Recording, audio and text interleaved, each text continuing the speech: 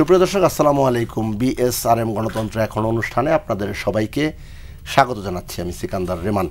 গণতন্ত্র, মানবাধিকার এবং আইনের শাসনের কথা বলে দীর্ঘদিন কিন্তু আন্দোলন হয়েছে বাংলাদেশে এবং একটি পরিবর্তিত পরিস্থিতিতে অন্তর্বর্তীকালীন সরকার গঠিত হয়েছে। যে সরকারের কাছে এবং পরবর্তীতে যারা আসবেন সবার কাছে এই বিষয়গুলো নিশ্চয়ই সবাই কামনা করবে। দেশে যাতে আইনের শাসন, মানবাধিকার এবং গণতন্ত্রর পথ সবসময় মসৃণ থাকে। যখন ঢাকা বিশ্ববিদ্যালয়ে একজন মানসিক ভারসাম্যহীন লোককে পিটিয়ে হত্যা করা হয় জাহাঙ্গীরনগরও সাবেক এক ছাত্রলীগ নেতাকে হত্যা করা হয় নির্মমভাবে। এছাড়া বিভিন্ন জায়গায় যখন আইন শৃঙ্খলা পরিস্থিতি নিয়ে প্রশ্ন ওঠে, সে বিষয়টা আসলে কীভাবে বিশ্লেষণ করা যায়, বিশ্লেষণ করা হবে, সে বিষয়ে আজকে আমরা আলোচনা করতে চাই। একই সঙ্গে দেশের অর্থনৈতিক অবস্থা, বিদেশি সহায়তা নিয়েও আমরা কথা বলব। এবং সবশেষ আলোচনা আমরা করতে চাই সাবেক প্রধানমন্ত্রী শেখ হাসিনাকে নিয়ে। তিনি কোন স্ট্যাটাসে ভারতে আছেন? ভারত তাকে ফেরত দেবে কি দেবে না? সে বিষয়ে আমরা কথা বলব।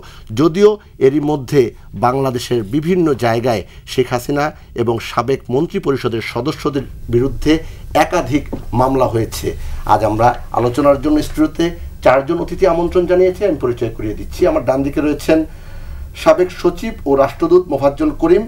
এরপর রয়েছেন সাবেক সংসদ সদস্য ব্যারিস্টার রুমিন ফারহানা। আমার বাদিকে রয়েছেন এম হুমায়ুন কবির, সাবেক সচিব ও রাষ্ট্রদূত। সবশেষ রয়েছেন আবু আলম মোহাম্মদ শহীদ খান, সাবেক সচিব। আপনাদের চারজনকেই স্বাগত জানাচ্ছি। আলোচনা শুরু করতে চাই মুফাজ্জল করিম আপনাকে দিয়ে।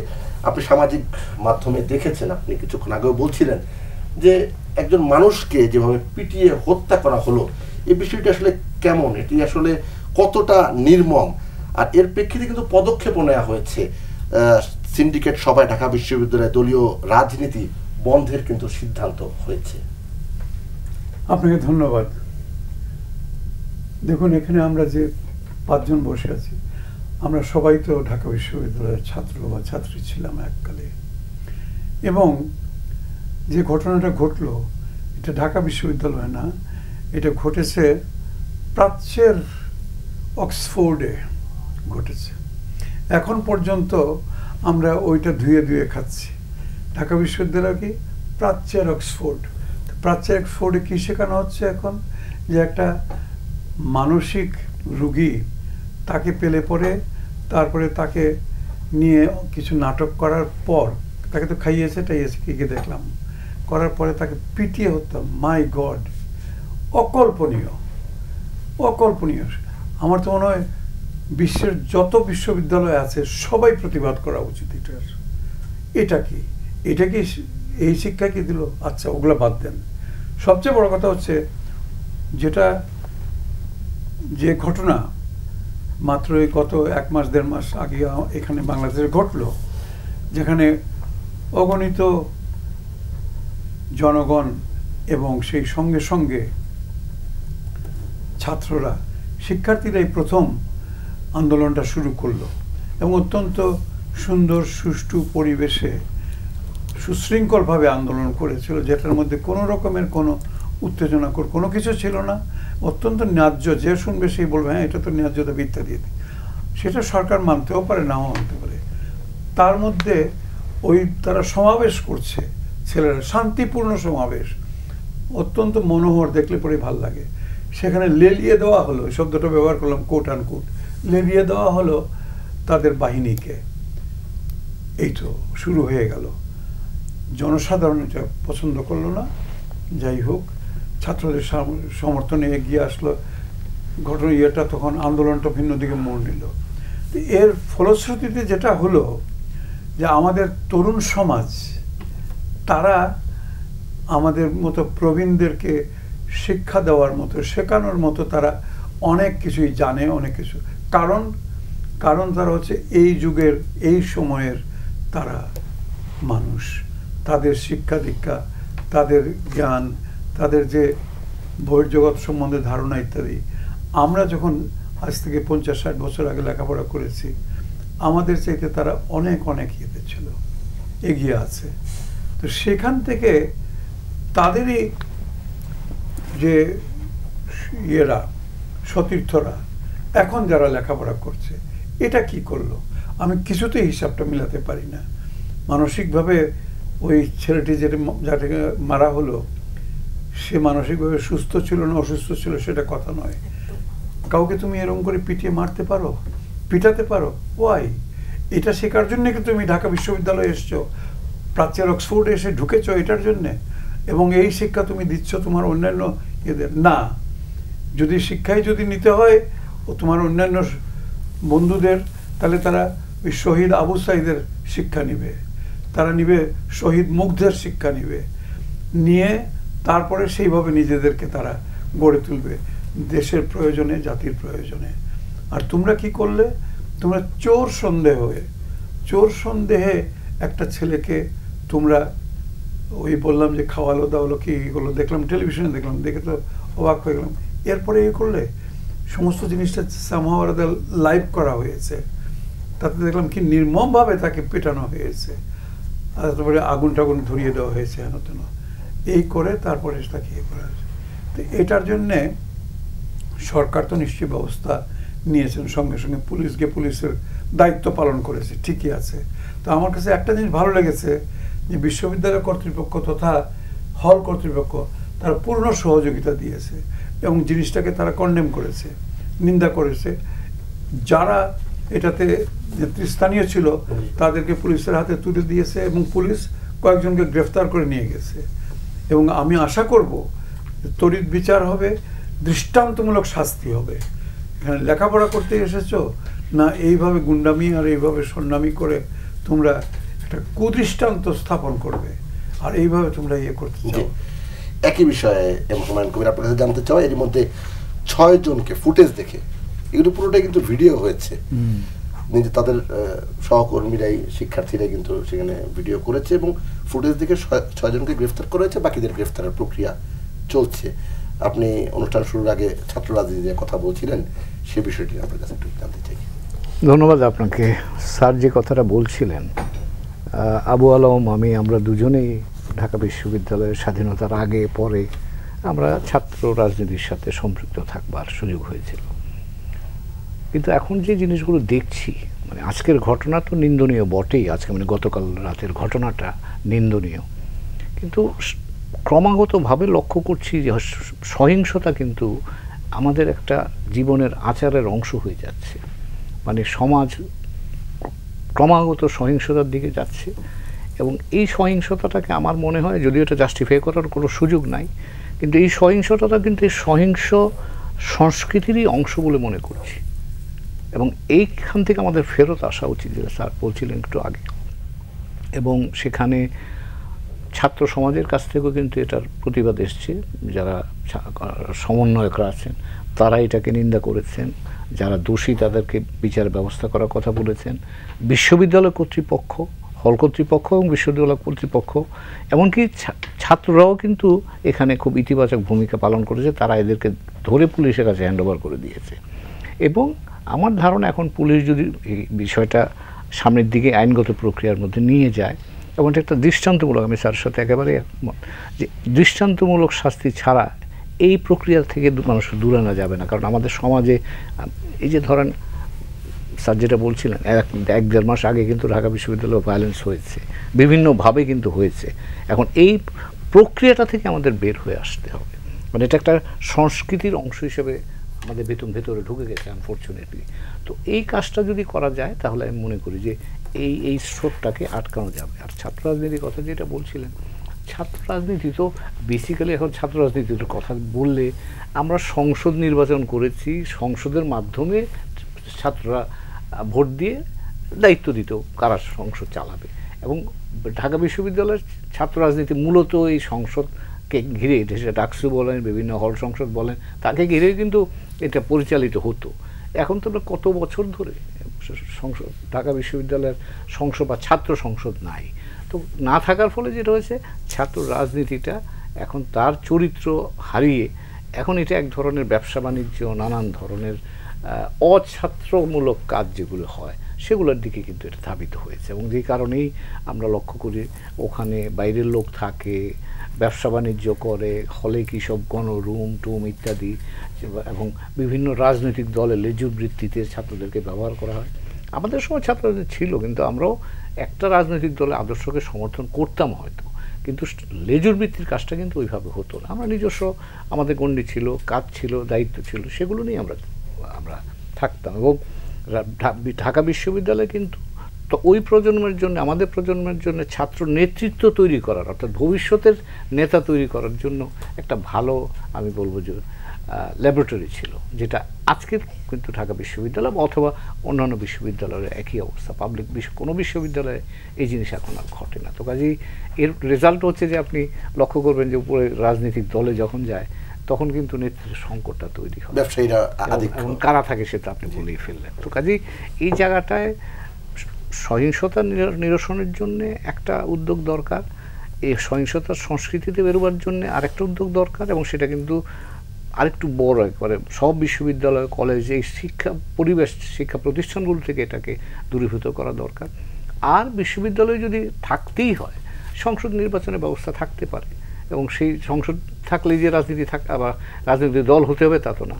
ওই প্রতিষ্ঠানের জন্য ছাত্ররা নির্বাচিত প্রতিনিধি করলে সেখানে আপনি নেতৃত্ব তৈরি হবে এবং ছাত্রদের যেগুলো দাবি দেওয়া আছে সেগুলো নিষ্পন্ন করার হয়তো একটা সুযোগের সৃষ্টি হবে। ধন্যবাদ।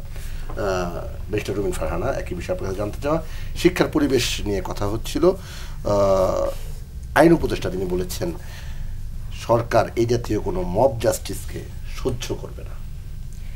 আমি আলোচনার শুরুতেই বলি, বুধবার দিন গতকাল তিনটা গণপিটুনিতে তিনজন ব্যক্তি মারা গেছেন। ঢাকা বিশ্ববিদ্যালয়ে তোফাজ্জল মারা গেছেন। তাকে মোবাইল চোর হিসেবে সন্দেহ করা, তারপরে তাকে পিটিয়ে মারা হয়। জাহাঙ্গীরনগর বিশ্ববিদ্যালয়ের স্বামী মোল্লা, তিনি ছাত্রলীগের রাজনীতির সঙ্গে যুক্ত ছিলেন এবং ধারণা করা হয় পনেরো তারিখ, পনেরোই জুলাইতে তিনি হয়তো কিছু সহিংসতার সঙ্গে যুক্ত ছিলেন। সেই সন্দেহে তিনি বিশ্ববিদ্যালয়ে যাওয়ার পরে তাকে গণপিচুনি দিয়ে মারা হয়। আরেকটি ঘটনা ঘটে বগুড়ায়। ভদ্রলোকের নাম আসিফ, তাকেও মেরে ফেলা হয়। তার সন্দেহটা ছিল তিনি গরু চুরি চোরা কারবারির সঙ্গে যুক্ত। দেখুন, আমরা এমন একটা দেশে বাস করছি যেখানে মোবাইল কিংবা গরু চুরির জন্য আমরা পিটিয়ে মানুষ মেরে ফেলি এবং এটাকে আমরা মব জাস্টিস বলি। জাস্টিস শব্দটাতে আমার আপত্তি আছে। যখন আপনি জাস্টিস শব্দটা বলেন তখন আপনি এই পুরো বিষয়টিকে এক ধরনের ন্যায্যতা দেন। আপনি এই মব জাস্টিসে জাস্টিস শব্দটা ইউজ করার মধ্যে দিয়ে আপনি একটি বার্তা দেন যে আসলে তো সমাজে আইনের শাসন নাই, আসলে তো প্রচলিত বিচার ব্যবস্থায় এদের কোনো বিচার হবে না, আসলে তো পুলিশের কাছে আমরা কোনো ন্যায় বিচার পাবো না, আদালতের কাছে ন্যায় বিচার পাবো না। সুতরাং সমাজে ন্যায্যতা, সমাজে আইনের শাসন প্রতিষ্ঠার জন্যে আমরা মবরা মিলে একটা জাস্টিস তৈরি, একটা প্রতিষ্ঠা করছি। সুতরাং এই শব্দটি আমার মনে হয় এখানে না ব্যবহার করাই ভালো। যেই দেশে আজকে এই তিনটা রিপোর্ট প্রকাশিত হয়েছে, একটা সালমান এফ রহমানের ব্যাপারে, একটা এস আলমের ব্যাপারে, আর একটা গতকালকে আল জাজিরার একটি রিপোর্ট আজকে আপনারা সকলেই দেখেছেন রিপোর্টটি তাই না? একজন আট লক্ষ টাকার হরিণের চামড়া বা কুমিরের চামড়া বা এরকম উট পাখির চামড়া, অদ্ভুত অদ্ভুত জিনিসের চামড়া দিয়ে কাস্টম মেড জুতা। হ্যারডসে যেই হ্যারডসে আমরা পড়াশোনা করার সময় পাশ দিয়ে হেঁটেও যেতাম যে হ্যারডসের গায়ে, বাতাস গায়ে লাগলে বোধহয় কিছু, যদি পাউন্ড দাবি করে ওরা, ভয়ের চোটে হ্যারডসের রাস্তা আমরা, আমি অন্তত ওইটা এড়ায় অন্য রাস্তা দিয়ে যেতাম। হ্যারডসের জুতা না হ্যারডসের কাস্টম মেড শু যেটা বানাতে ছয় থেকে আট মাস সময় লাগে এটা বাংলাদেশের একজন সংসদ সদস্য পায়ে দিয়ে ঘোরেন। কই, তখন তো মব জাস্টিস হয় না? আমরা সতেরো কোটি মানুষ জানি, এই দেশের কোনো আদালত, এই দেশের কোনো পুলিশ, এই দেশের কোনো প্রশাসন তাকে ধরতে পারবে না। আমরা জানি। কিন্তু তখন কিন্তু আমরা মব জাস্টিস করি আমরা মব জাস্টিস করি কাকে? একটা মোবাইল চুরি করে, কিংবা একটা গরু চুরি সন্দেহ করে, তাও না, সন্দেহ করে পিটি আমরা মেরে ফেলি। এবং মব জাস্টিসের জাস্টিস শব্দটা আসলে উচ্চারণ করাটাই অন্যায়। এই গণপিটুনির একটা সুবিধার দিক কি জানেন? আপনার নানা রকম বঞ্চনা, নানা রকম হতাশার সমাজের ব্যাপারে নানা রকম ক্ষুব্ধতা আপনার আছে, সেটা আপনি আসলে কোথায় উগরে দেবেন? সেটা উগরে আপনি দেন ওই নিরীহ মানুষটির ওপরে যাকে আপনি নানানভাবে সন্দেহ করছেন। তাকে পেটায় মেরে ফেললেও আপনাকে তো আসলে আইডেন্টিফাই করা যায় না। মবের সুবিধা হচ্ছে, এখানে আমিও মারছি, আপনিও মারছেন, সবাই মিলে মারছে। কেউ তো কাউকে আইডেন্টিফাই করতে পারবে না। সুতরাং আপনি আপনার সকল রকম বিকৃতি সেখানে ঢেলে দিয়ে আসেন। আজকে দেখছিলাম এস আলম বাংলাদেশ থেকে এক লক্ষ কোটি টাকা স্রেফ পাচার করে দিয়েছে। আটটা ব্যাংক, মতান্তরে ছটা ব্যাংকের মালিক তিনি ছিলেন। সরকার আসবে, সরকার যাবে। আমি আপনার কাছে এখানে বলে গেলাম, এস আলমের কিছু হবে না। মিলাই নিয়েন সবাই মিলাই নিয়েন এখানে যারা দর্শকও মিলাই নিয়েন। এস আলমের কিছু হবে না। সালমান এফ রহমান। সবাইকে ম্যানেজ করতে পারবে তাহলে। নিশ্চয়ই। জি। বাংলাদেশের পলিটিক্সই তাই। সালমান এফ রহমান। শুধু জনতা ব্যাংকে তার মন্দরিন পঁচিশ হাজার কোটি টাকা। টোটাল মন্দরিন এক বিয়াল্লিশ হাজার কোটি টাকা। করোনা আসছে। করোনার সময় সালমান এফ রহমান দুই হাতে ব্যাংকের নীতি পরিবর্তন করে ইচ্ছা মতন লোপাট করেছে। মব তো দূরের কথা। স্বয়ং চিফ জাস্টিসেরও এখানে জাস্টিস করার কোনো সাহস নাই। তো দিস ইজ বাংলাদেশ এবং এখন আমি দেখতে পাচ্ছি ছয়জন না আটজন ছাত্রকে বহিষ্কার করা হয়েছে জাহাঙ্গীরনগর বিশ্ববিদ্যালয়ের ঘটনায়। এটা একটা নতুন মানে এটা গত কয়েক বছরের একটা ইয়ে বহিষ্কার। বহিষ্কার তো হতেই হবে, সেই সাথে প্রচলিত আইনে তো তাকে শাস্তির আওতায় আনতে হবে। বহিষ্কার তো হলো না। আমার আব্বাও তো বিশ্ববিদ্যালয় থেকে বহিষ্কার হয়েছিল একশো চুয়াল্লিশ ধারা বঙ্গের সিদ্ধান্ত নেওয়ার কারণে। কি সেই সিদ্ধান্ত? তার ফলে কি হয়েছে? আর এই গণপিটুনির কি মানে ফল?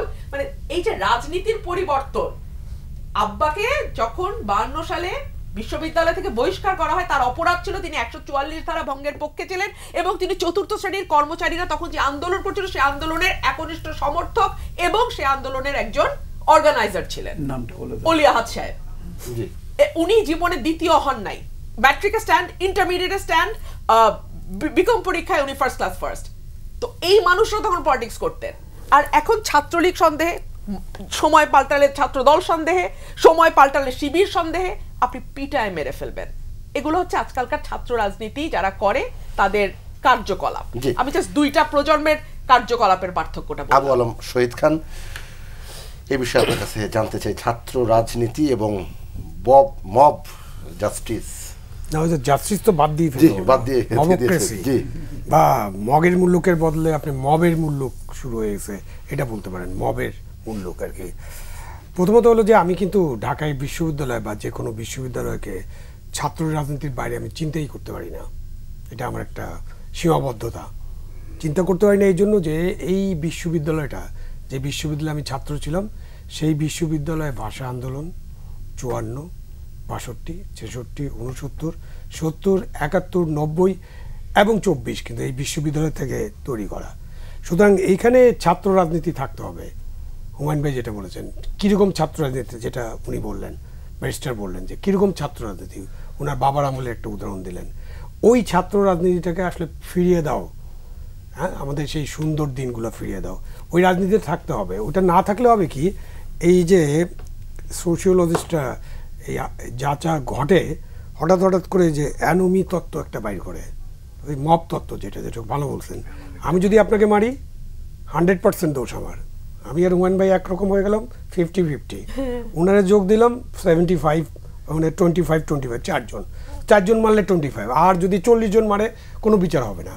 কে কাকে মারছে কখন মারছে কীভাবে মারছে আর কোর্টে গেলে তো ব্যারিস্টার সাহেবরা ইয়ে করবে। ও কি হাত দিয়ে মারছিল? নাকি লাঠি দিয়ে মারছিল? পায়ে এরম করে মারছিল, নাকি পায়ের তলায় মারছিল, এইসব করতে করতে এগুলো কোনো বিচার হবে না।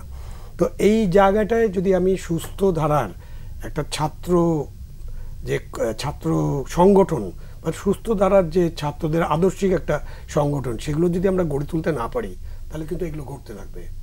এবং এই ঘটনাগুলো তখনই বন্ধ হবে, যখন আপনি বিশ্ববিদ্যালয় থেকে আগে শিক্ষক রাজনীতি বন্ধ করেন। ঠাস করে সুযোগ পাইছে এখন ছাত্র রাজনীতি বন্ধ করে দিলাম। মানে কি? আগে ভাই শিক্ষক রাজনীতি বন্ধ করেন। বিশ্ববিদ্যালয়ে ঢাকা বিশ্ববিদ্যালয়ের সবচেয়ে বড় সমস্যা আমার কাছে এখন, শিক্ষক রাজনীতি। তারা বিভিন্ন দলে বিভক্ত। তারা আমাদের সময় তো শিক্ষকরা বিভিন্ন কালারে বিভক্ত ছিলেন। সাদা, নীল, কি কি আছে, গোলাপি। এখন গোলাপি আছে কিনা জানি না। কিন্তু ক্লাসরুমে গেলে আমি কোনো কালার বুঝতে পারতাম না। মোহন ভাই বা যারা গেছেন, আমরা কোনো কালার বুঝতে পারতাম না। ইভেন যখন বাকশাল তৈরি করা হয়, আমার মনে আছে একজন পলিটিক্স সায়েন্সের প্রফেসর উনি বলতেছিলেন যে এটা একটা সেকেন্ড রেভলিউশন আমি বললাম যে আপনি কি রেভলিউশন পড়াচ্ছেন আমাদেরকে? আমি আপনাকে চ্যালেঞ্জ করলাম যে এটা রেভলিউশন না। এটা নিয়ে এক ঘণ্টা বিতর্ক হলো। কিন্তু করা সম্ভব ছিল। এখন এগুলো কিছুই করা সম্ভব সম্ভব যে আমরা একটা বিরতি নিয়ে ফিরছি।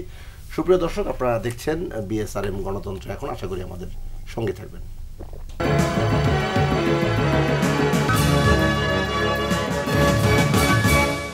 সুপ্রিয় দর্শক বিরতির পর বিএসআরএম গণতন্ত্র এখন অনুষ্ঠানে আরও একবার স্বাগত জানাচ্ছি আমি সিকান্দার রেমান।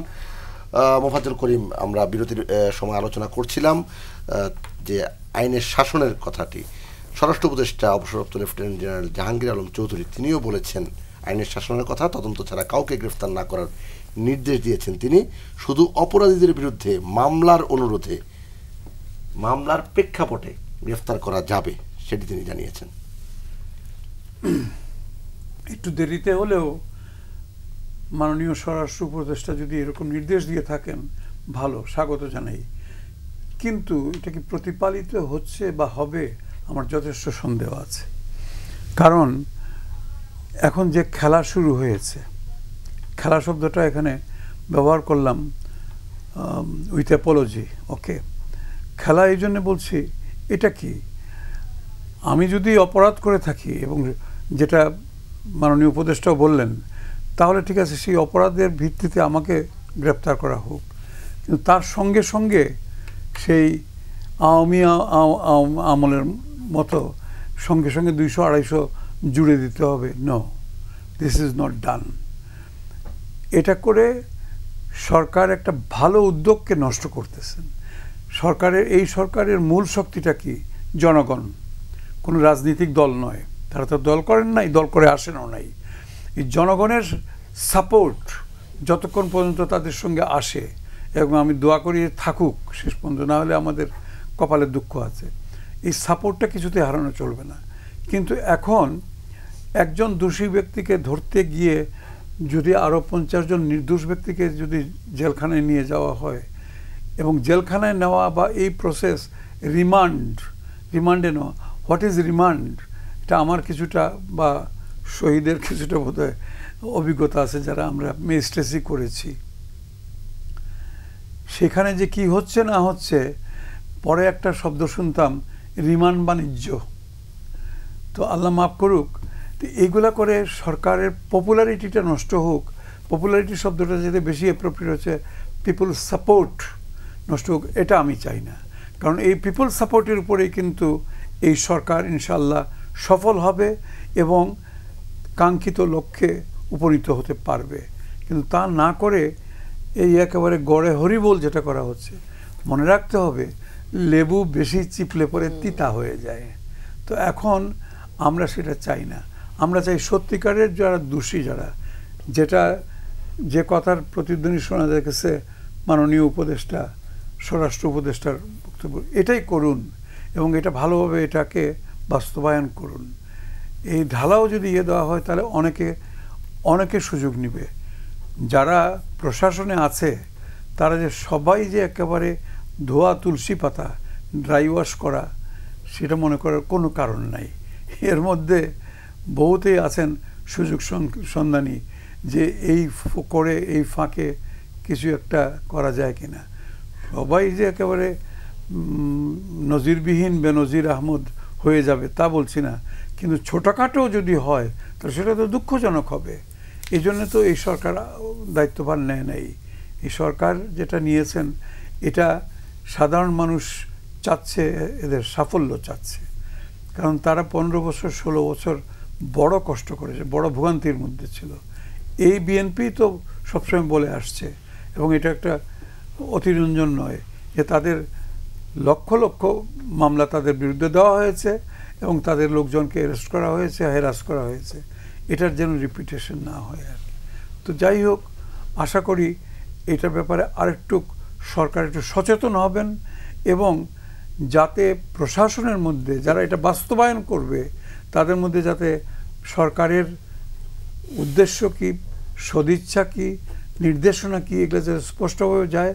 আর ফর গড সেক এগুলা মনিটরিং করেন। এটা আপনারা যে সিদ্ধান্ত দিলেন মাননীয় স্বরাষ্ট্র উপদেষ্টা আপনার এটা প্রতিপালিত হচ্ছে কি না হচ্ছে না এটা দেখার একটা ব্যবস্থা করেন। মনিটর করতে থাকুন এবং এটাকে এটা যদি ইয়ে হয় ব্যর্থ হয় ব্যত্যয় হয় তাহলে উপযুক্ত ব্যবস্থা অনেক প্রয়োজন বিরুদ্ধে কারও বিরুদ্ধে নেন। জি।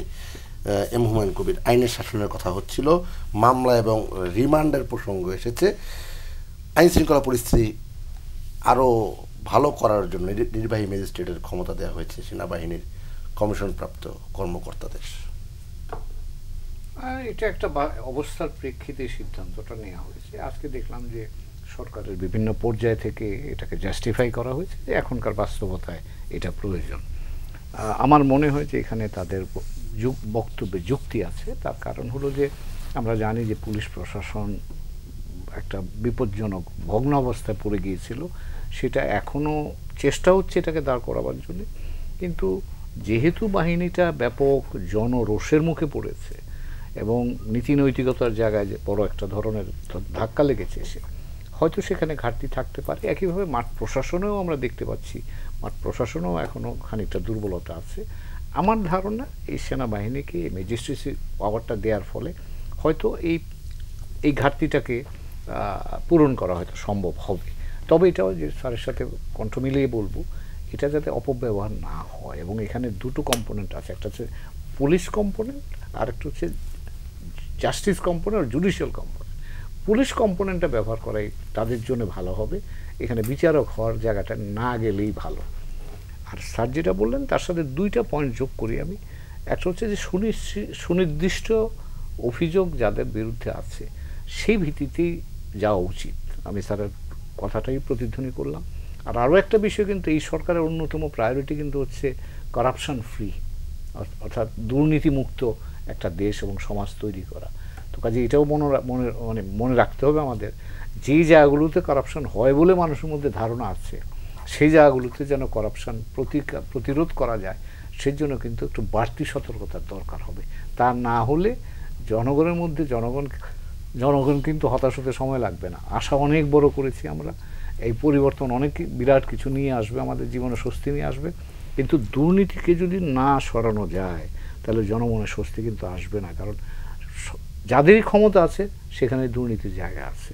তো কাজেই ক্ষমতার ব্যবহার যে কোনো জায়গাতে হয়, সেই জায়গাগুলোতে যাতে দুর্নীতি চর্চা না হয়, সেটা নিশ্চিত করতে পারলেই আমি স্যারের সাথে আবারও বলছি যে জনসমর্থন যেটা এই সরকারের ভিত্তি এবং বৈধতা। দুটো কাজের জন্যই কিন্তু জনসমর্থন প্রয়োজন এখন। তো কাজে সেই জায়গায় এই কারাপশনকে যদি নিয়ন্ত্রণ করা যায় বা দুর্নীতিকে যদি নিয়ন্ত্রণ করা যায় তাহলে কিন্তু সাধারণ মানুষের জীবনে কিন্তু রাজনীতি রাজনীতিবিদ রুবিন ফারানা কিন্তু সেটা বলছে না। তিনি বলছেন যে আসলে ওই যে চোর কিংবা মোবাইল চোর এদেরকে ধরা যাচ্ছে। কিন্তু যারা পাহাড় পরিমাণ সম্পদের অর্জন করছে তারা কোনো না কোনো ফাঁক গলে বেরিয়ে যাবে। এই নিশ্চয়তাটাগুলি আসলে কীভাবে দেওয়া সম্ভব। এখন সেটা আপনাকে এটা এটা রাজনৈতিক সিদ্ধান্ত। এটা আমার ব্যক্তিগত ধারণা হচ্ছে রাজনৈতিক সিদ্ধান্ত থাকলে যত বড় অপরাধী হোক তাকে ম্যানেজ করা অসুবিধা হবে না আইনের চোখে কারণ আইন তো আছে আপনাকে কিন্তু রাজনৈতিক সিদ্ধান্ত না থাকলে আপনি ছোট বড় কাউকে কিছু করতে পারবেন না। বাংলাদেশে অপরাধীদের অনেক অপরাধী বেরিয়ে যায় না। যাবজ্জীবন কারাদণ্ডপ্রাপ্ত আসামি মুক্তি পেয়েছে না গত কয়েক বছর আগে? একজন না কয়েকজন বেরিয়ে গেছে। তো কাজেই এটা সরকারের দিক থেকে রাজনৈতিক সিদ্ধান্ত যদি থাকে আইন যদি সঠিকভাবে প্রয়োগ করা যায় তাহলে কিন্তু বড় ছোট সমস্যা হবে না। এবং মানুষের প্রত্যাশা হচ্ছে যে বা যারাই দোষী এবং মানুষের কষ্টের কারণ যারা হয়েছে তারা আইনের আইনের প্রক্রিয়ার মধ্য দিয়েই তারা আসুক এবং যে সিদ্ধান্ত আদালত থেকে আসবে সেভাবেই যেন গণ অভ্যুত্থানের পর জঙ্গি সহ তেতাল্লিশ জন আলোচিত শীর্ষ সন্ত্রাসী কারাগার থেকে জামিনে এটা এটা একটা শঙ্কার কারণ। এটা শঙ্কার কারণ তার কারণ হলো যে কয়েকজন দেখলাম যে তাদের সেন্টেন্সের টাইম ডিউরেশন শেষ হয়ে গেছে সেজন্য বেরিয়ে গেছে। কিন্তু এইগুলো কিন্তু শুধু দেশের জন্য না আমাদের আমাদের জন্য আশঙ্কার কারণ না এটা বাইরের পৃথিবীতে খুব আলোচিত হচ্ছে। আমি আপনাকে বলছি আমার আমার কানে আসছে বাইরের পৃথিবী এটা নিয়ে বেশি শঙ্কিত। কারণ এই সন- যাদেরকে ছাড়া হয়েছে তাদের অনেক, অনেকেই বিভিন্ন ধরনের সন্ত্রাসী কর্মকাণ্ড, যেটা সন্ত্রাসী যে বলা হয়, কর্মকাণ্ডে ছিলেন এবং তারা বাইরে আসার ফলে তা, অনেকে মনে করছেন বাইরের পৃথিবীতে এটা আলোচনাটা এইরকম যে তারা আবার সন্ত্রাসী কর্মকাণ্ড এখানে তৈরি করতে পারেন অথবা বাংলাদেশে সন্ত্রাসী কর্মকাণ্ডের নূতন তৎপরতা বা নূতন ঘাঁটি হিসাবে ঘাঁটিও তৈরি হওয়ার একটা আশঙ্কা কিন্তু আছে। তো কাজেই আমি মনে করব এই জিনিসগুলোতে এখন একটু বাড়তি মনোযোগ দেওয়া দরকার এবং সাবধানতা দরকার। কারণ এই জিনিসটা শুধু আমাদের অভ্যন্তরীণ না, এটা আন্তর্জাতিক পর্যায়ের কিন্তু একটা প্রতিফলন বা ভাইব্রেশন হয়। কাজেই বাংলাদেশকে আমরা এখন, বাংলাদেশ যে একটা লিবারেল, ডেমোক্রেটিক আইন আইনের দ্বারা পরিচালিত দেশ হবে, এটাই তো সরকার চাচ্ছে। তো সেটা যদি করতে হয়, তাহলে কিন্তু আমার মনে রাখতে হবে যে বাইরের পৃথিবীতে যেন ভ্রান্ত কোনো ধরনের বা ভুল কোনো পারসেপশন না যায় এই ব্যাপারে আমাদের। একটু বাড়তি সতর্কতা জি ধন্যবাদ। মিস্টার রুমিন ফারানা আমরা কথা বলছিলাম সেনাবাহিনী ম্যাজিস্ট্রেসি পাওয়ার নিয়ে। রাজনৈতিক দলগুলো কিন্তু বলছে যে আসলে সব এলাকায় ম্যাজিস্ট্রেসি পাওয়ার দেওয়ার বিষয়টি সঠিক নয় বিষয়টি পুনর্বিবেচনায় নেওয়া উচিত। আইনজীবী হিসেবে আপনার বক্তব্যটা জানতে চাই। আমি তো একজন রাজনৈতিক ক্ষুদ্র কর্মী। আমি একই সাথে একজন আইনজীবী এবং সর্বোপরি আমি বাংলাদেশের একজন নাগরিক। আমি কিন্তু বাংলাদেশে এখন আর নিরাপদ বোধ করি না। আমি একদমই নিরাপদ বোধ করি না। করি না এই কারণেই যে বাংলাদেশের রাজনীতিটাকে এমন একটা জায়গায় সবাই মিলে আমরা সকলেই, যার যার জায়গা থেকে নিয়ে গেছি, যে কে কার কোন স্বার্থ হাসিলের জন্য আমাকে নাই করে দেবে এবং দেখা যাবে একটা বিরাট গ্রুপ এটার সুবিধা নিতে পারবে এবং আরেকটা গ্রুপকে বেকায়দায় ফেলা যাবে। সো আমি এদেশে এখন আর নিরাপদ বোধ করি না। আমি বিশ্বাস করি, আমার মতোই যারা সাধারণ নাগরিক, তারাও যার যার জায়গা থেকে নিরাপদ বোধ করে না। আপনি যদি পাঁচ তারিখে আমরা একটু পেছনের দিকে তাকাই, পাঁচই অগস্ট, শেখ হাসিনা যে মুহূর্তে পালিয়ে গেল, তার পরপরই আমরা দেখলাম কারাগারগুলোর ফটক অটোমেটিক্যালি খুলে গেল। রাজবন্দি পলিটিক্যাল প্রিজনার থেকে শুরু করে জঙ্গি, সন্ত্রাসী শীর্ষ সন্ত্রাসী, অমুক নাম, তমুক নাম, আমরা মোটামুটি সবাই জানি, নামগুলো আর নাই বলি, সবাই বের হয়ে গেল। কার সাজার মেয়াদ শেষ হলো? কার সাজা বাকি আছে? কার, কারও বিরুদ্ধে হয়তো বিশটা মামলা, তার হয়তো আঠেরোটাতে বেল আছে, দুটাতে বেল হয় নাই। বেল টেলের কোনো ধারই কেউ ধারলো না। কীভাবে যেন সবাই বের হয়ে গেল? আমি একজন রাজনৈতিক ক্ষুদ্র কর্মী, আমি কিছুই বুঝলাম না। এবং আমি একজন আইনজীবী হিসেবে আমার মনে প্রশ্ন আসলো যদি তারা এতদিন অবৈধ আটকেও থেকে থাকে, একটা তো প্রক্রিয়া আছে বের হওয়ার। নাকি এটা একটা মবের মুল্লুক?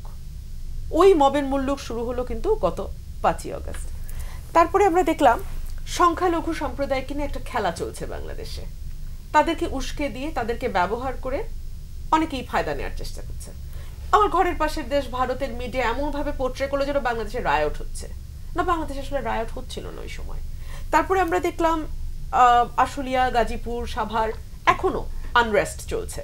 কারখানাগুলো ফ্যাক্টরিগুলো বন্ধ হচ্ছে, খুলছে, ভাঙচুর হচ্ছে, ইত্যাদি ইত্যাদি। আমরা দেখলাম আনসার বাহিনী তারা এক ধরনের কু করার চেষ্টা করছে। জুডিশিয়াল কু এর কথা তো আলোচনাই হলো। প্রধান বিচারপতি থেকে শুরু করে সকল অ্যাপেলেট ডিভিশনের জাস্টিসরা ধপ ধপ ধপ ধপ করে পড়ে গেলেন। একটা হজবরল না? একদম একটা হজবরল তো এটার মধ্যে আসলে আমরা কি আইনের শাসনের কথা বলব আর কি রিমান্ডের কথা বলব? রিমান্ডের ব্যাপারে আমি আইনজীবী হিসেবে এটুকু বলি বাংলাদেশের সিআরপিসিতে রিমান্ড বলে কোনো শব্দ নাই। অধিকতর তদন্ত বা ফার্দার ইনভেস্টিগেশনের ব্যাপার আছে। স্যার, আম- আরও দুজন স্যার আছেন, আমার তিনজন স্যার, ওনারা আমার চেয়ে অনেক ভালো জানেন, কারণ তারা ব্যুরোক্রেসির সাথে ওতপ্রোতভাবে জড়িত ছিলেন। সো রিমান্ড বলে কিছু না, অধিকতর তদন্ত বা ফার্দার ইনভেস্টিগেশন সেই ফার্দার ইনভেস্টিগেশনকে আমরা ফার্দার টর্চার বানায় ফেললাম। এটা কোনো একক দলের বা একক সরকারের ব্যাপার না। সকলে মিলে আমরা একটা অদ্ভুত রিমান্ড নামক শব্দ নিয়ে আসলাম এবং চোর থেকে শুরু করে পলিটিশিয়ান পর্যন্ত যেই ওটার মধ্যে দিয়ে গেল, তাকেই মারধরের শিকার, বিভৎস নির্যাতন। এবং এখন তো আদালতে আসলে আমি যতদিন প্র্যাকটিস করেছি, আমি দেখেছি খোলামেলা আমরা বলতাম যে মাইলর্ড স্বীকারোক্তি নিয়েছে রিমান্ডে মানে বোঝাই যায় যে ওই স্বীকারোক্তির আসলে কোনো মূল্য নাই। জজ সাহেবও জানে ওই স্বীকারোক্তির কোনো মূল্য নাই। তাহলে স্বীকারোক্তিটা নেওয়া হয় কেন রিমান্ডে নিয়ে? রিমান্ডে টর্চারটা হয় কি করে? যেটা আইনে নাই, যেটা কানুনে নাই, যেটা কোনো বিধিতে নাই।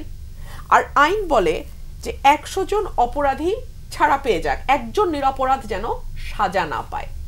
এই যে শত শত হাজার হাজার মামলা গত কয়েক বছর ধরে আমরা দেখলাম পলিটিক্যাল পার্সনদের উপর করা হলো।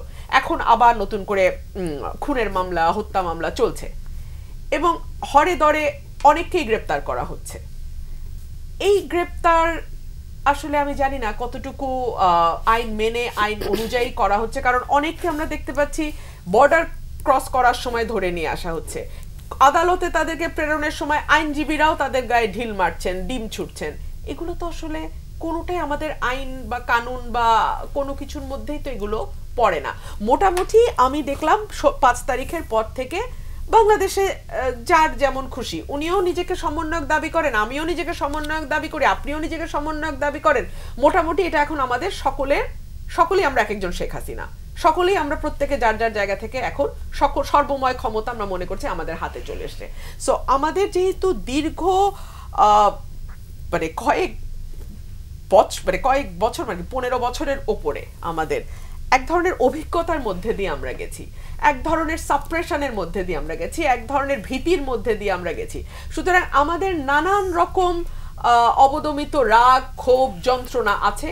সেগুলোর বহিঃপ্রকাশ আসলে আমরা নানান রকম ভাবে করতে দেখছি। এবং একই সাথে আমরা এটাও লক্ষ্য করছি যে সরকার আসলে সামাল দিতে পারছে না। আজকে বিএনপির মহাসচিব একটা কথা বলেছেন যে, ম্যাজিস্ট্রেসি পাওয়ার দেয়া মানে হচ্ছে পুলিশ প্রশাসন তারা ফেল করেছে। অ্যাবসলিউটলি তাই। আপনি দেখেন রাস্তায় বহুদিন ধরে পুলিশ দেখিই নাই। গত কয়েকদিন ধরে পুলিশ দেখি, দেখছি আমরা ট্রাফিক, কিন্তু তাদের ট্রাফিক কন্ট্রোলের ব্যাপারে খুব বেশি কি উৎসাহী মনে হচ্ছে? তারা বরং নিরাপদে দাঁড়িয়ে আলাপ করছেন, গল্প করছেন। ইভেন কিছুদিন আগে আমি গত সপ্তাহে গাড়ির কাজ আমি একজনকে বলতে বাধ্য ছিলাম যে, ভাই, গল্পটা একটু পরে করেন, আগে এখানে দেখেন কি অবস্থা। আমরা কয়েক ঘণ্টা যাবত একই জায়গায় আটকে আছি। আর পুলিশ ভাইরাও বা কি করবে? কারণ কিছু দূর গেলেই দেখি একদল ছাত্র বা একদল যুবক বা একদল তরুণ, তারা রাস্তা অবরোধ করে তাদের দাবিনামা পেশ করছে। তাদের কথা বলছে। তো এইরকম একটা অবস্থায় সত্যি তো আইন শৃঙ্খলা পরিস্থিতি রক্ষা করা সরকারের জন্য সত্যি কঠিন হয়ে যাচ্ছে। সুতরাং বাধ্য হয়েই এটা সিআরপিসির বাইরে নয় সিআরপিসিতে বলাই আছে সেনা বাহিনীকে এই পাওয়ার দেয়া যেতে পারে। তবে অফকোর্স এই ডিবেটও আসতে পারে যে আমাদের সংবিধান যেটা বলে যে separation of power article twenty two এর যেই কনসেপ্ট যে নির্বাহীকে আপনি কখনোই বিচারিক দায়িত্ব দিতে পারবেন আপনি যখন এক্সিকিউটিভ ম্যাজিস্ট্রেটকে জুডিশিয়ারির এই ক্ষমতা দেন বিচারের ক্ষমতা কিংবা আপনি যখন সেনাবাহিনীর হাতে ম্যাজিস্ট্রেসি পাওয়ারটা দেন তখন অটোমেটিক্যালি বিচার বিভাগের ওই ক্ষমতা শেয়ার্ড হয়ে যায় নির্বাহীর সঙ্গে। সেই ডিবেট চলতে পারে কিন্তু সেই তাত্ত্বিক অবস্থানে আসলে আমাদের দেশ আছে কিনা সেটাও এখন একটা আলোচনার বিষয়। সুতরাং আমি মনে করি ভাই আমাদের নিরাপত্তা সবচেয়ে বেশি প্রয়োজন এই মুহূর্তে। আমাদের নানান রকম ভেস্টেড কোয়ার্টার নানান জায়গায় নানান রকম কিছু করার চেষ্টা করছে সেই জায়গা থেকে উত্তরণের জন্য ষাট দিনের একটা পাওয়ার দেয়া হয়েছে সেনাবাহিনীকে। আর সেনাবাহিনী যদি সঠিকভাবে এই পাওয়ার এক্সারসাইজ করে আমি এখানে কোনো I don't see anything wrong with that ধন্যবাদ। আবু আলম শহীদ খান নিরাপত্তা ইস্যুতে কথা হচ্ছিল আইন শৃঙ্খলা পরিস্থিতি জুডিশিয়াল সেক্টর গার্মেন্টস অরাজকতা মামলা রিমান্ড সকল বিষয় মানে সাম্প্রতিক সময়ে পাঁচ তারিখের পরে যত বিষয় ঘটেছে সব বিষয়ে এসেছে আলোচনায়। না, মামলা যেভাবে হচ্ছে, এটা তো ক্লিয়ার যে মামলার ধরন এবং মামলার বাদী বাদী কাউকে চিনে না, দেখেও নেই কোনো দিন এরকম অনেক নাম এবং তার সাথে আরও বেনামি আরও দুইশো জন, তিনশো জন। তো এই মামলা, এগুলো তো আসলে ফাইনালি একটু টিকবে না। কারণ এগুলো প্রমাণ করা খুব কঠিন এবং হুকুমের আসামি, এসব প্রমাণ করা কঠিন। যে শেখ হাসিনার বিরুদ্ধে দেড়শোর বেশি হত্যা মামলা দায়ের করা হয়েছে। ঠিক আছে, মামলা চলুক, মামলা চললে আমাদের পুলিশ প্রশাসন আছে, তারা কীভাবে তদন্ত করে, তারপরে এটা আদালতে যাবে, আমাদের ব্যারিস্টার সাহেবরা আছেন, তারা দেখবেন আদালতে কি, কীভাবে এগুলো প্রমাণ করা যায়। বাট এই ধরনের মামলা কিন্তু খুব অচল এবং এই মামলার সংস্কৃতিটা পুরানো। ওখান থেকে বেরিয়ে আসতে হবে। ওখান থেকে বেরিয়ে এসে পুলিশে, একটা পুলিশ এবং যে আপনি আমাদের উপদেষ্টার কথা বললেন, তাদের কাছ থেকে একটা নির্দেশনা গেছে যেটা ভালো, সেটা হলো যে মামলা হলেই গ্রেপ্তার করা হবে না। তদন্ত করার পরে গ্রেপ্তার করা যেতে পারে বা তদন্তের পরে ব্যবস্থা নেওয়া হবে। সেই ক্ষেত্রে বিষয়টা হলো যে তদন্তটা কেমন হবে? সেটার উপর আস্থা আছে কিনা? যারা তদন্ত করবেন, তারা তদন্ত ঠিক মতো করবেন কিনা? এবং এই যে যাকে তাকে আপনি যখন তখন গ্রেপ্তার করে ফেলছেন, এমন এমন লোকেরও নাম আসছে। তারা প্রাক্তন মন্ত্রী থাকতে পারেন, প্রাক্তন এমপিও থাকতে পারেন এবং সবাই যে খারাপ মানুষ ছিলেন, সবাই যে হত্যাকাণ্ডের সাথে জড়িত ছিলেন, সবাই যে পুলিশকে দিয়ে গুলি করিয়েছেন, এমন তো নয়। সুতরাং আপনি এরকম হরে গড়ে যদি সকলকে গ্রেপ্তার করেন, সেটার একটা নেগেটিভ ইম্প্যাক্ট হতে পারে এটা সরকারকে চিন্তা করতে হবে। এখন দায় কিন্তু অন্তর্বর্তীকালীন সরকারে। দায় কোনো অন্য রাজনৈতিক দলের হবে না। কারণ আপনি দায়িত্ব নিচ্ছেন আপনাকে দায়িত্বটা ঠিকমতো পালন করতে হবে। সেনাবাহিনীকে যেটা দেওয়া হয়েছে সিক্সটি ডেজ ঠিক আছে?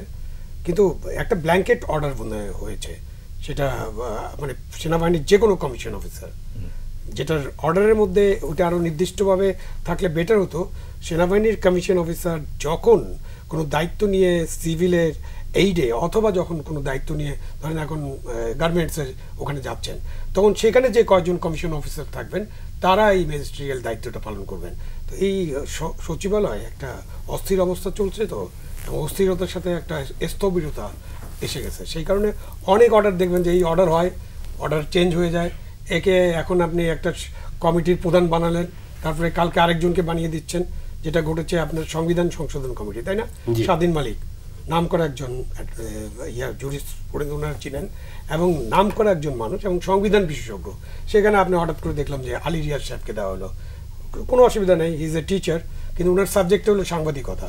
ওনার সাবজেক্টটাই ল না। তো সুতরাং সংবিধান বিশেষজ্ঞ হিসেবে আলী রিয়াজ আমার ডিপার্টমেন্টের ছাত্র। এবং আমি নাম ধরে বলছি এই জন্য যে জনগণকে জানা দরকার। আমি তো আলী রিয়াজকে কখনো সংবিধান বিশেষজ্ঞ হিসেবে কখনো তার রোল প্লে করতে দেখিনি, কখনো কোথাও দেখিনি উনি সংবিধান নিয়ে কিছু কথা বলছেন। এই কয়েকদিন আগে, পাঁচই আগস্টের পর হঠাৎ দেখলাম যে উনি আসলেন ঢাকায়, এসে বললেন সংবিধান পুনর্লিখন করতে হবে। তখন দেখলাম যে আলী রিয়াজ সাহেব সংবিধান নিয়ে কিছু বললেন। আপনারা আছেন, আপনারা যদি তার আগে তার কিছু দেখে থাকেন, বলতে পারবেন। কিন্তু স্বাধীন মালিক নাই আলী রিয়াজ সাহেব ওখানে বসলেন। তো এই ধরনের অর্ডার করব কেন? এবং ডাক্তার ইনুস সাহেব জাতির উদ্দেশ্যে ভাষণ দিয়ে ওই ব্যক্তিকে দায়িত্বটা দিয়েছিলেন। তো এইখানে তো আমরা বুঝলাম না যে দায়িত্বটা কি। একই ঘটনা ঘটলো যে আপনি একজনকে স্বরাষ্ট্র উপদেষ্টা বললেন। তারপরে দুই, তিন দিন পরে উনি কি বললেন জানি না। কয়েকটা বিষয়ে কথা বলছিলেন। সেই কথাগুলো নিয়ে ডিবেট হতে পারে, আলোচনা হতে পারে। হঠাৎ করে দেখা গেল যে উনি চলে গেলেন কোথায়? সমাজ কল্যাণে। মানে উপদেষ্টা থেকে সমাজ কল্যাণ, স্বরাষ্ট্র থেকে। এগুলো কিন্তু ইম্প্যাক্ট ক্রিয়েট করে। তো এখন এই অন্তর্বর্তীকালীন সরকার যেভাবে সিদ্ধান্ত নিচ্ছে এবং যেভাবে আদেশগুলো ইস্যু হচ্ছে এবং যেভাবে আদেশ পরিবর্তন হচ্ছে, তাতে করে জনমনে এমন একটা ধারণা সৃষ্টি হতে পারে যে সরকারটা একটা অস্থিরতার মধ্যে আছে কিনা। আর যখনই সরকার অস্থিরতার মধ্যে যাবে, তখনই কিন্তু একটা স্থবিরতা দেখা দেবে এবং আমরা এখন একটা অস্থির, স্থবির সরকারকে দেখছি কিনা, এটা নিয়ে আলাপ আলোচনা হতে হবে। আলাপ আলোচনাটা এই জন্য হতে হবে যে আমরা তো চাই যেটা স্যার বললেন। আমরা চাই যে জনগণের সমর্থনে এই অন্তর্বর্তীকালীন সরকার গঠিত হয়েছে এবং তাদের কিছু সংস্কার করার দায়িত্ব আছে। যে সংস্কারটা চুয়ান্ন বছরে রাজনৈতিক দলগুলো করে নাই, ওই অর্থে রাজনৈতিক দলগুলো ব্যর্থ হয়েছে। সেই ব্যর্থতার জায়গাটা ওনারা মেক আপ করবেন। তো ওনাদের কাছ থেকে আমাদের প্রত্যাশা কিন্তু অনেক এবং ওনারা যে সুযোগটা পেয়েছেন, সেই সুযোগ যদি কোনো কারণে হারিয়ে যায় সুযোগ নষ্ট হয়ে যায়, এটা প্রধান উপদেষ্টা নিজেই বলছেন। আমরা যে সুযোগ পেয়েছি, সেই সুযোগের সদ্ব্যবহার যদি আমরা করতে না পারি, আমরা কিন্তু একসময় মানে পরবর্তী প্রজন্মের কাছে প্রশ্নের সম্মুখীন হব। এই জন্য ওই কথা থেকে আমি যেতে চাই যে তাহলে কাজগুলো এমন করতে হবে যাতে এখনই প্রশ্ন না ওঠে। প্রশ্নগুলো কমিয়ে আপনি সামনের দিকে আগান সুন্দর করে সংস্কারগুলো করেন, একটা লেভেল প্লেইং ফিল্ড হোক একটা ভালো নির্বাচনের আয়োজন হবে নিশ্চয়ই সংস্কার শেষ হওয়ার পরে, এবং সেই নির্বাচনের মধ্য দিয়ে একটা জনগণের সরকার গঠিত হবে। এটাও জনগণের সরকার বাট জনগণের ভোটের সরকার না। এটা জনগণের সমর্থনে একটা অভ্যুত্থানের মাধ্যমে গঠিত সরকার, অন্তর্বর্তীকালীন সরকার এটার নাম। এবং অন্তর্বর্তী মানে অন্তর্বর্তী। এটা পার্মানেন্ট কোনো সরকার না। সুতরাং জনগণের সরকারে একসময় না একসময় যেতে হবে হ্যাঁ? ওটা নিয়ে ডিবেট আছে, আপনি এক হাজার দিন থাকবেন নাকি পাঁচশো দিন থাকবেন নাকি দুই বছর থাকবেন নাকি তিন বছর থাকবেন এটা নিয়ে ডিবেট এবং আলোচনা হতে পারে। কিন্তু যে কদিন আপনি থাকবেন সেই কদিন আপনার সরকার কিন্তু চলতে হবে। এবং এই চলাটা কিন্তু একটু দ্রুত চলা। এটার ওই অন্যর কচ্ছপের গতিতে চললে হবে না। এখানে অনেক লোক এরকম বলে যে সরকার কি চলতেছে কিনা? অনেকে বুঝতে পারে না। না। চলতেছে? নাকি চলতেছে না? কি হচ্ছে ভাই? অনেকে জিজ্ঞাসা করে কি হচ্ছে? আসলে কি সরকার চলতেছে? আপনি গার্মেন্টসে দেখেন না। পনেরো দিন বিশ দিন লাগে একটা জিনিস ঠিক করতে। এখন রেজিস্ট্রিয়াল পাওয়ার দেওয়ার পরে আজকেও পঁচিশটা গার্মেন্টস বন্ধ আছে কিন্তু। বন্ধ আছে আমরা সবগুলো চালু করতে পারিনি। তাহলে কি? সেখানে ত্রিপক্ষীয় একটা সমাধানে পৌঁছতে হবে। এবং পৌঁছার পরে আপনি যার যা ক্ষমতা আছে প্রয়োগ করেন। প্রয়োগ করে আপনি এটা সমাধান সমাধান, সমাধানটা হলো ইম্পর্টেন্ট আচ্ছা একটা জিনিস শহীদ ওই যে স্বাধীন মালিক সাহেব সম্বন্ধে যেটা বলা হয়েছে আমি কিন্তু একটা পেপারে দেখলাম উনি অপারগতা প্রকাশ করেছেন। ইটস ভেরি ইম্পর্টেন্ট এবং এটার উনি প্রতিবাদ করেন নাই বা কেউ কিছু করেন আমি আমি জানি না আমি এই জন্য বললাম যে উনি অপারগতা প্রকাশ করলে দেয়ার আর মেনি ব্যারিস্টার্স যারা সংবিধান নিয়ে কাজ করে। আচ্ছা, মানে সেটা- আপনি তার বদলে যাকে দিলেন তার সাথে আমি সংবিধানের কানেক্টিভিটি বুঝতে পারতেছি না। সেটা আমার অন্য প্রশ্ন। ওটা স্বাধীন মালিকের অপরাগতা। আর আমার অপরাগতা হলো যে যাকে দেওয়া হয়েছে তার সাথে আমি কানেক্টি কানেক্ট করতে পারছি না। স্বাধীন মালিককে সরকার সরিয়ে দিয়েছে এটা বোধহয় ঠিক আমি। জানি না স্যার, আমি এটা- না পেপারে পড়েছি ভাই। এটাতে লিখেছে কোনো স্বাধীন মালিকের আমি কোনো statement দেখি নাই, করেছেন সেই জন্য আলী রিয়াজ না কিন্তু স্যার স্বাধীন মালিকের কোনো স্টেটমেন্ট আমি দেখি নাই স্বাধীন মালিক যদি এটা অপরাগত প্রকাশ করতো স্যার প্রথম দিনেই করতো। আমি আপনার এই মানে ওই পেপারে যা প্রকাশ হয় সবগুলো আমি বিশ্বাস করি না তাহলে স্বাধীন মালিক প্রথম দিনে বলতে পারতো। যেমন মতিউর রহমান চৌধুরীকে স্যার তিতাস গ্যাসের কি একটা কমিটির মেম্বার বানিয়েছিল। হোয়াট এ ফান্ড স্যার এটাও আহ, উল্লেখ করতে চাই। হোয়াট এ ফান যে তার মতো একজন, এত সিনিয়র একজন সম্পাদককে তিতাস গ্যাস বোর্ডের মেম্বার বানালেন নট চেয়ারম্যান উনি এগুলো হতে চায় না। উনি লন্ডন থেকে দুই ঘণ্টার মধ্যে জানিয়ে দিচ্ছে সরি আমি এটা হতে চাই না। বাট স্বাধীন মালিক কিন্তু এরকম কোনো প্রেস স্টেটমেন্ট করে নেই। কোনো পেপার যদি বলে থাকে, আমাদের মিডিয়াতে আমি আলোচনা করতে চাই না। আমাদের মিডিয়া অনেক জিনিস প্রকাশ করে, যেটার ব্যাকিং কি, এটা আমি জানি না। মেইন মিডিয়াতে কিন্তু মেইন স্ট্রিমে আমি কোথাও দেখি নেই আমি এটা আমি দেখেই আমি দেখেই বলেছি। আর দ্বিতীয়ত আলী রিয়াজ সাহেব সম্বন্ধে একটা কথা একটা বাক্য বলি। উনি একজন অত্যন্ত খ্যাতনামা বুদ্ধিজীবী এটা সম্বন্ধে কোনো সন্দেহ। তার লেখাপড়া না ইয়ে সম্বন্ধে সংবিধান সম্বন্ধে কি পড়াশোনা আছে না আছে আমার কোনো ধারণা নাই। তবে বোধহয় সরকার এটুকু অন্তত খোঁজ খবর নিয়েই বা যারা এই ব্যাপারে জানেন তাদের পরামর্শ নিয়েই বোধহয় করে যাই হোক এটা নিয়ে করতে পারে স্যার বাট আমার কাছে স্বাধীন মালিকের মানে অল্টারনেটিভ হিসেবে মনে হয়নি যে পুরাটা খুব ভালো বিবেচনার বিষয় আমি একটা লাইন বলতে পারি? আমি দুজনের প্রতি শ্রদ্ধা রেখে একটা শব্দ বলি। এটা আমার মনে হয়েছে। রিপোর্টগুলো আমি পড়েছি তো। আমার যেটা মনে হয়েছে ডক্টর স্বাধীন মালিক আহ, এই পদে যাওয়ার পর পর উনি একটা কমেন্ট করেছিলেন। আপনারা নিশ্চয়ই লক্ষ্য করেছেন। সংবিধানের ভেতরেই সমাধান আছে। আর যিনি ডক্টর আলী রিয়াজ সর্বজন শ্রদ্ধেয়, উনি বলেছেন সংবিধান পুনর্লেখন করতে হবে। আমার মনে হয় উত্তরটা এখানেই নিহিত। আমরা দুর্নীতি প্রসঙ্গে মহাজন করে আপনার কাছে জানতে চাইব। দুর্নীতি নিয়ে বিগত দিনে টক শোতে এই টেবিলে অনেক আলোচনা হয়েছে। সবশেষ আন্তর্জাতিক গণমাধ্যমে এসেছে সাবেক ভূমি মন্ত্রী সাইফুজ্জামান চৌধুরী জাবেদের একটি বিষয়। লন্ডনেই তার তিন শতাধিক বাড়ি আছে এবং যুক্তরাজ্যে উননব্বইটি বাড়ি এছাড়া দুবাই সহ বিশ্বের বিভিন্ন জায়গায় তার সম্পদের বিষয়গুলো সামনে এসেছে আর কি। এখন এই যে আলোচনা হচ্ছে আইনের শাসনের কথা আচ্ছা লন্ডনে তার কয়টা বাড়ি আছে? তিন শতাধিক। আচ্ছা দেখো তো দেখি হুমায়ুন লন্ডনের একজন হাই কমিশনারকে একটা বাড়ি দেওয়া যেত না? এটার মধ্যে থেকে। এটা খুবই অন্যায়। প্রতিবাদটা প্রথম করে রাখি। কিছুদিন তো অন্তত দেশকে ওখানে রিপ্রেজেন্ট করেছি। একটা বাড়ি তো এই হাজারগুলো বাড়ির মধ্যে আশ্চর্য ব্যাপার এই লোকগুলা এত সময় পেলে কোথায় পাই এগুলা এত সম্পদ বানানোর জন্যে? এবং যখনই দেখি বিস্মিত হয়ে যাচ্ছে ঠিক আল্লাহ তালা মানে তার বাপ মায়ের মাধ্যমে যে নামটা রেখে দিয়েছিলেন বেনজির আহমদ যে এমন দুর্নীতি করবে যেটা বেনজির এটার কোনো নজির নাই। আর এখন দেখতেছি এরকম বেনজির ঘরে ঘরে এদের আছে আর কি। আশ্চর্য। না হলে পরে পনেরো লাখ টাকা দিয়ে ছাগল কিনতে যায় ইয়েতে কোরবানির জন্যে। আশ্চর্যকে সরকারি একজন কর্মচারী। কর্মচারী ছেলে আমি ইয়ে শহীদ তুমি পড়েছো কিনা জানি না। গত দুই সপ্তাহ আগে আমার একটা আর্টিকেল বের হয়েছিল। ওই তুমি পড়েছো নাকি? ইয়েতে ওই কালের কণ্ঠে তো আমি মোটামুটি কলাম লিখে রেগুলার। তো সেখানে বলেছিলাম প্রশাসনের দুই দ। প্রশাসনের দুই দ। এক দ হচ্ছে দুর্নীতি আর আরেক দল হচ্ছে আরেক দ হচ্ছে দলীয়করণ। দলীয়। এই দুইটা নিয়ে লিখেছিলাম। এবং আমার সামান্য অভিজ্ঞতা থেকে এটা আবার বেশি বিনয় হয়ে যায় বোধ হয় চল্লিশ বছর এই লাইনে থাকার পরে সামান্য বলাটা শব্দটা সঠিক প্রয়োগ হয় না। তবে অসামান্য অভিজ্ঞতা সম্পন্ন অন্তত দুইজন বা একজন আছেন যারা এগুলো জানেন। আমি বলছি, সত্যি কথা বলতে গেলে দুর্নীতিটা এমনভাবে আর কি ডুবিয়েছে, পাকিস্তান আমলেও যে দুর্নীতি হয় নাই তা তো না, হয়েছে। ব্রিটিশ আমলেও হয়েছে। এবং আমার আর্টিকেলের মধ্যে আমি লিখেছিলাম যে যখন ইবলিস শয়তান যখন আদম আলাই ইসলামকে যখন ইয়ে করল, বিপত্তি করল, সেই থেকে দুর্নীতি শুরু হলো। আচ্ছা সেটাই প্রথম উদাহরণ এবং তারপরে থেকে চলে আসতেছে।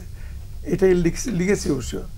তো কথা হচ্ছে যে এটার বিরুদ্ধে কিন্তু বক্তৃতাটা খুব আমরা ভালো দেই। সর্বশেষ ফ্রেজ যেটা খুব পপুলার জিরো টলারেন্স বুঝে কয় না না বুঝে কয়, আল্লাহ কইতে পারে। দুর্নীতির ব্যাপারে জিরো টলারেন্স আমি যদি কই কোন সাই দেখি জিরো টলারেন্সটা কি জিনিস? তখন আর ব্যাখ্যা করতে পারবে না। এই সমস্ত বক্তৃতাতে বোধ হচ্ছে কিন্তু যারা এই সমস্ত বক্তৃতা বেশি দিয়েছে তারাই এখন দেখা যাচ্ছে সবচেয়ে বেশি করেছে। এবং ডুবাইছে মানে সিভিল সার্ভিসটাকে সিভিল সার্ভিস বলতে আমি শুধুমাত্র যে জনপ্রশাসন তা না পুরাপুরি প্রশাসনটাকে বলছি। প্রশাসনটাকে ডুবিয়েছে এই জিনিসটা প্রথমেই আর কি। এখন হয়েছে কি এমন যে চাকরিতে ঢুকেই চিন্তা করে যে কখন একটা বাড়ি হবে কখন একটা ইয়ে হবে গাড়ি হবে। চাকরিতে ঢোকার সঙ্গে সঙ্গেই আগে হয়তো একটা পাত্রী পাইতো না আর এখন পাত্রীর বাবারা এসে ভিড় করে তার বাড়িতে। এই অবস্থা অতএব তাকে এখন ওইভাবে ইয়ে করতে হয়। চিন্তা ভাবনা করতে হয়। এম হুমায়ুন কবির আমরা দেশের অর্থনীতির অবস্থা নিয়ে একটু কথা বলছি। বিশ্বব্যাংক বাংলাদেশকে নতুন করে আরও দুই বিলিয়ন ডলার সহযোগিতা দেওয়ার কথা জানিয়েছেন। চলতি অর্থ বছর বিশ্বব্যাংক ঋণ সহযোগিতা আরও বাড়াবে যেটি বিশ্বব্যাংক কান্ট্রি ডিরেক্টর আবদুল্লাহ শেখ তিনি এটি নিশ্চিত করেছেন। সালেউদ্দিন আহমেদ যিনি অর্থ বাণিজ্য উপদেষ্টা তিনি বলছে বাজেট সহায়তা ব্যাংক সহ আর্থিক খাতের সংস্কার জ্বালানি বন্যায় ক্ষতিগ্রস্ত আহ, গৃহ নির্মাণ রোহিঙ্গাদের সহায়তায় নানা জায়গায় কিন্তু বিশ্বব্যাংক কাজ করবে এমন আশ্বাস পাওয়া যাচ্ছে ইতিবাচক হিসেবে এটি বিবেচনা করা হচ্ছে। আপনার বক্তব্য জানতে চাই।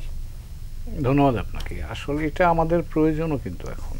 আমাদের প্রয়োজনতার কারণ আমরা জানি বাজেট সাপোর্ট যেটা প্রাক্তন প্রধানমন্ত্রী চীনে যখন গিয়েছিলেন গত মাস দুয়েক আগে, তখন কিন্তু প্রত্যাশা ছিল যে চীনের কাছ থেকে একটা বাজেট সাপোর্ট আমরা পাবো। কারণ তখন থেকে কিন্তু এই সংকটটা তৈরি হচ্ছিল। তো এখনও সেটা আছে। ব্যাংকিং সেক্টরের দুরবস্থা তো এখন প্রকাশিত। আমরা দেখতেই পাচ্ছি অবস্থাটা কি। এটা সংস্কারের জন্য আমার টেকনিক্যাল সাপোর্ট দরকার আছে। আমার ফরেন কারেন্সির যে অবস্থা এখন, তাতে আমার সাপোর্ট দরকার আছে। এবং এখানে আমার ধারণা এটা আমাদের, আমি বলব যে ইতিবাচক জায়গাটা। মার্কিন প্রতিনিধি দল দুদিন আগে যেন এসে গেছেন, তারা কিন্তু এই সাপোর্ট দেওয়ার কথা বলেছেন, সেটা বাইলেটারালি তারা দুশো মিলিয়ন ডলারের এক বিলিয়ন ডলারের মধ্যে লাস্ট ট্রঞ্চ দুশো মিলিয়ন ডলার অনুদানের কথা ঘোষণা করে গেছে। এটা ইতিবাচক। এবং তারা আরও কয়েকটা কথা বলেছেন যিনি এসটিলের ব্রেন্ট নেইমেন্ট উনি একটা ইন্টারভিউ দিয়েছিলেন বিজনেস স্ট্যান্ডার্ডের সাথে। ওখানে তিনি কিন্তু বলেছেন অনেকগুলো কথা। তিনি বলছেন যে আমরা এখন বাংলাদেশের প্রয়োজনে ওয়ার্ল্ড ব্যাংক আইএমএফ এডিবি এদের এদের সাথে আমরা কাজ করব এবং এটাও বলেছেন যে ব্যাংকিং সেক্টরের বিভিন্ন ধরনের সংস্কার কাজের জন্য আইএমএফের সাথে বাংলাদেশ যেন কাজ করে এবং আইএমএফের সাপোর্টের মধ্যে যেন এটাকে সংযুক্ত করে নেয়। তো কাজেই আমার ধারণা এই সরকারটার সরকারের ব্যাপারে বাইরের পৃথিবীতে একটা আস্থা আছে এবং সেই আস্থাটা প্রকাশিত হচ্ছে এই মার্কিন যুক্তরাষ্ট্রের প্রতিনিধি দলের সফর এবং গত দুই দিন ধরে আমরা যেটা ওয়ার্ল্ড ব্যাংকের কাছ থেকে দেখলাম এডিবি আইএমএফ এর কাছ থেকে যে সাপোর্টগুলো আসছে। এখন কথা হলো এই সাপোর্টগুলোকে আমরা এখানে কীভাবে কাজে লাগাবো? কারণ টাকা তো ওরা দেবে এটা ব্যবহারের উপর নির্ভর করবে আমরা আবার পাবো কিনা বাকিটা তো সেই জায়গাটায় আমার ধারণা আমাদের দিক থেকেও খানিকটা তৎপরতা দরকার। তবে আসার কথা হচ্ছে যে দুর্নীতি নিয়ে আপনি একটু বলছিলেন স্যার যে কথাগুলো বললেন এই সরকারের অন্তত নেতৃবৃন্দ নেতৃত্বে যারা আছেন তারা দুর্নীতিতে সম্পৃক্ত হওয়ার সম্ভাবনাটা কম। কারণ এই যে বড় বড় দুর্নীতি যেটা আগে আমরা পুকুর চুরি বলে শিখেছি ছোট সময় এখন তো সাগর চুরি মনে হচ্ছে। পুকুর তো নাই এটা তো সাগর হয়ে গেছে। এটা সম্ভব না যদি না রাজনৈতিক সমর্থন বা রাজনৈতিক স্পন্সরশিপ না থাকে। রাজনৈতিক ছায়া ছায়াতলে এই কাজগুলো হয়ে থাকে। তো কাজেই যে বড় বড় দুর্নীতিগুলো আমরা দেখছি সবগুলোই রাজনৈতিক যোগাযোগের মাধ্যমে কিন্তু হয়েছে অথবা রাজনৈতিক সমর্থনে হয়েছে। একজন রাজনীতিবিদ আছেন আমাদের মাঝে। বারবার তার কাছে হয়তো বিব্রতকর প্রশ্নই করতে হচ্ছে যে দুর্নীতি এবং আর্থিক খাতের বিষয়ে আলোচনা হচ্ছে। রাজনীতিবিদদের সহায়তার কথা বিভিন্ন সময় বলা হচ্ছে। এটা কোনো নির্দিষ্ট দলের কথা বলা হচ্ছে না সহায়তা। যে যখন যেভাবে সুযোগ পায় সময় পায় আর কি। আমি আমার বাবার রাজনৈতিক গুরু যিনি, হোসেন সৈয়দ সরওয়ার্দি, ওনার একটা উদাহরণ দিই। উনি যখন আসতেন, ওনার কাছে তো ব্যবসায়ীরা টাকা নিয়ে আসতেন। দল চালানো, রাজনৈতিক খরচ হিসেবে। তো তখন তো ইয়ে ছিল না, ওই ফোম ছিল না। জাজিম, জাজিমের উপর তোষক বিছিয়ে তার উপর উনি বসতেন। তো পলিটিশিয়ানরা টাকা সরি ব্যবসায়ীরা টাকা দিল। উনি বলতেন, না, আমি ধরবো না, ওই তোষকের ভেতরে ঢুকাও। তো ঢুকাতেন। তারপরে যখন পলিটিক্যাল অ্যাক্টিভিটিসের জন্য টাকা দিতে হতো, উনি একটা লাঠি ছিল ওনার। ওই লাঠিটা দিয়ে উনি টাকাটা দিতেন, টাকাটা উনি হাত দিয়ে ছুতেন না। ব্যাপারটা বুঝতে পারছেন? যখন ওনার সংসারে টাকার দরকার হতো, উনি আদালতে যেতেন। পলিটিক্সের জন্য যেই টাকা আসতো, সেই টাকা উনি হোসেন সৈয়দ সরোয়ার্দি হাত দিয়ে ছুঁইতেন না। ওটা লাঠি দিয়ে দিতেন। যে বলেন আমি টাকা হাত দিয়েও ধরে দেখি নাই। লিটারালি উনি ওনার জীবনে এটা করেছেন।